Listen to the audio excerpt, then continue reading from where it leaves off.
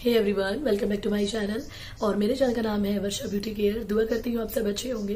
दोस्तों, आज मैं आपसे शेयर करने जा रही हूँ मिस्टी का स्किन केयर रूटीन आज की जो वीडियो है, एक रिक्वेस्टेड वीडियो है। इस वीडियो की रिक्वेस्ट काफ़ी टाइम से मेरे पास आ रही थी कि आप मिष्टी का स्किन केयर रूटीन शेयर कीजिए। मिष्टी यानी कि मेरी बेटी और उसी का स्किन केयर रूटीन आप देखना चाहते थे तो चलिए देख लेते हैं। और अगर आप मेरे चैनल पर पहली बार आए हैं तो स्वागत है आपका मेरे चैनल पर। प्लीज़ मेरे चैनल को सब्सक्राइब कर लीजिए, साथ में जो बेल बटन इसे प्रेस कर दीजिएगा, ताकि आपसे मेरी कोई भी न्यू वीडियो मिस ना हो। तो चलिए फ्रेंड्स देख लेते हैं। मैंने अभी तक तो मिस्टी के फेस पर ऐसे कोई भी क्रीम वगैरह या मॉइस्चराइजर बाहर से, यानी कि बाज़ार वाले यूज़ नहीं किए हैं। मैं हमेशा कोशिश करती हूँ कि मिस्टी की स्किन पर मैं जब भी कुछ लगाऊँ तो वो नेचुरल इंग्रेडिएंट हो, क्योंकि गाइस ये हमेशा ही अच्छे होते हैं बड़ों की स्किन के लिए भी और बच्चों की स्किन के लिए भी। इनका कभी भी कोई साइड इफ़ेक्ट नहीं होता है, कभी कोई नुकसान नहीं होता है। तो आज की जो वीडियो है, इसमें मैं आपको कुछ ऐसे नेचुरल इंग्रेडिएंट बताने जा रही हूँ, जो आपके बच्चों के लिए बहुत ही ज़्यादा बेनिफिशियल होंगे और उनकी स्किन को भी कोई हार्म नहीं पहुंचेगा। तो मिष्टी की स्किन पर भी मैं हमेशा नेचुरल इंग्रेडिएंट का इस्तेमाल करती हूँ, यानी कि डीआईवाई फेस मास्क या फेस पैक या मॉइस्चराइजर और हमेशा मैं उसकी स्किन पर बाज़ार से बना हुआ मॉइस्चराइजर अप्लाई नहीं करती हूँ। मैं बल्कि घर का ही मॉइस्चराइजर उसकी बॉडी पर लगाती हूँ, उसके फेस पर अप्लाई करती हूँ। बॉडी लोशन की इस रेमेडी को मैं अपने चैनल पर पहले शेयर कर चुकी हूँ।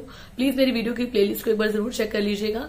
विंटर लोशन के नाम से भी आप सर्च कर सकते हैं, आपको मिल जाएगी मेरे चैनल पर वीडियो तो चलिए फ्रेंड्स देख लेते हैं आज की वीडियो तो यहाँ पर हमें सबसे पहले चाहिए एक चम्मच बेसन ले लीजिए। ये देखिए। उसके बाद आप इसमें एक पिंच हल्दी डाल दीजिए।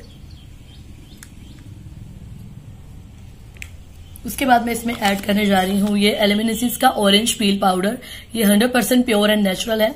और आपके पास जिस भी ब्रांड का हो, वो आप ले सकते हैं। अदरवाइज़ आप स्किप भी कर सकते हैं। आपके पास नहीं अवेलेबल है तो आप इसे स्किप भी कर सकते हैं। ये बिल्कुल ऑप्शनल है। मैंने इसे पहले भी बिस्टी को इस्तेमाल किया है और इसका कोई भी साइड इफ़ेक्ट नहीं हुआ है आज तक। और मैंने पहले घर का बना हुआ भी पील पाउडर इस्तेमाल किया है तो बहुत ही सेफ़ होता है बच्चों के लिए भी वो। तो ये देखिए, मैं थोड़ा सा इसमें आपने ऑरेंज पील पाउडर मिला दीजिए। जस्ट थोड़ा सा।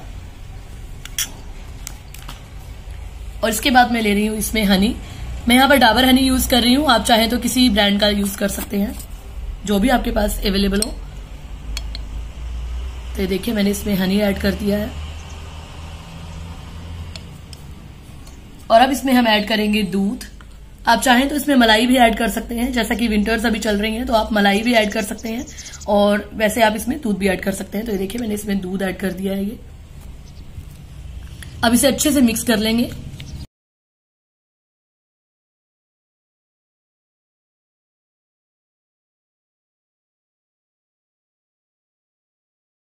अगर आप इस पैक को समर्स में लगा रहे हैं गाइस तो आप दूध की जगह इसमें दही भी ऐड कर सकते हैं। बिल्कुल ऑप्शनल है। क्योंकि अभी विंटर्स चल रही है तो मैंने इसमें दूध ऐड किया है। आप मलाई भी ऐड कर सकते हैं, आप चाहे तो।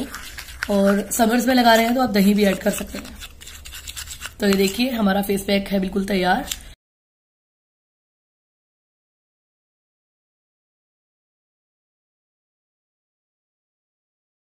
तो यहाँ पर मैं मिश्री का फेस वॉश कर चुकी हूँ और अब मैं इस पैक को इसके फेस पर अप्लाई कर रही हूँ और इस फेस पैक को गाइज़ आपने पाँच से दस मिनट रखना है। बस जब तक ये ड्राई हो जाए और पूरी तरह ड्राई मत होने दीजिए। हल्का ड्राई हो जाए, उसके बाद अपने फेस को, आप बच्चों के फेस को मतलब वॉश कर लीजिए।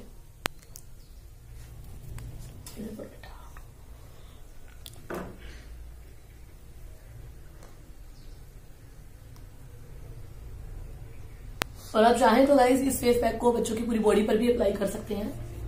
और गाइज़ ये फेस पैक विंटर्स के लिए सबसे बेस्ट फेस पैक है। बच्चों की स्किन के लिए बहुत ही अच्छा है। आप इसे वीक में दो से तीन बार भी लगा सकते हैं, दो बार भी लगा सकते हैं। जैसा भी आपके पास टाइम हो, उसके अकॉर्डिंगली आप यूज़ कर सकते हैं इसे। और जैसा कि मैंने इसमें शहद ऐड किया है तो शहद बच्चों की स्किन को नरिशमेंट देता है मॉइस्चराइज भी करता है। और दूध मैंने इसमें ऐड किया दूध में लैक्टिक एसिड होता है, जो कि बच्चों की स्किन टेक्स्चर को इम्प्रूव करने में भी हेल्प करता है। और गाइज़ इस फेस पैक को आप भी एक बार ज़रूर ट्राई कीजिए, बहुत ही बेस्ट फेस पैक है। और दो ही इसकी स्किन केयर रूटीन की चीज़ें हैं, जो मैंने इसमें ऐड की हैं।